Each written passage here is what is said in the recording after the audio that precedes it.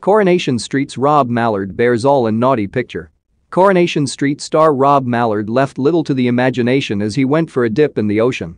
The actor, who portrays Daniel Osborne in the ITV soap, shared a snap of the moment in question on social media.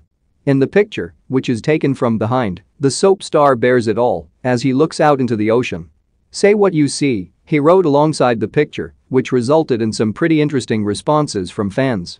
Something perfect lol, replied one social media user, while another added, a naked man going for a swim.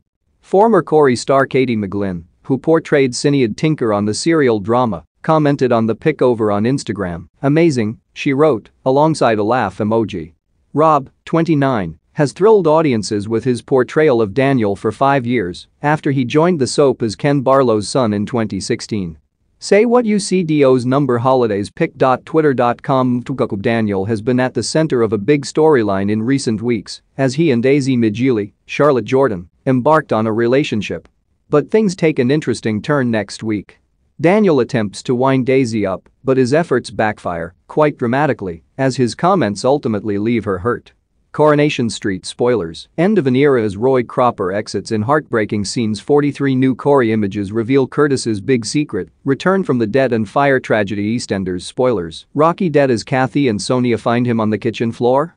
Subsequent scenes will then see Daisy go out for a drink with footballer Ashley and Jenny Connor, Sally Ann Matthews, relays such news to Daniel, who is taken aback.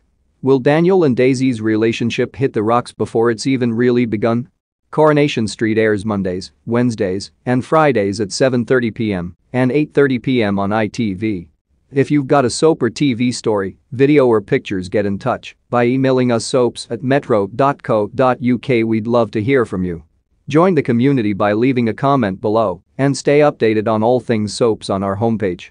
More sad story behind Roy Cropper's shopping bag as he leaves Coronation